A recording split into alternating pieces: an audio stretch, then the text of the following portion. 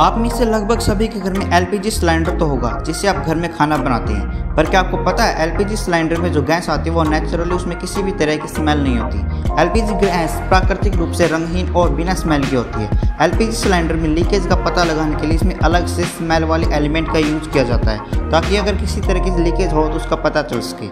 LPG cylinder में जो smell आती है, वो मिथियल मार कैप्टन की होती है, और इसकी स्मेल बहुत ज़्यादा होती है। वीडियो अच्छी लगी हो तो लाइक कीजिए और चैनल को सब्सक्राइब कीजिए।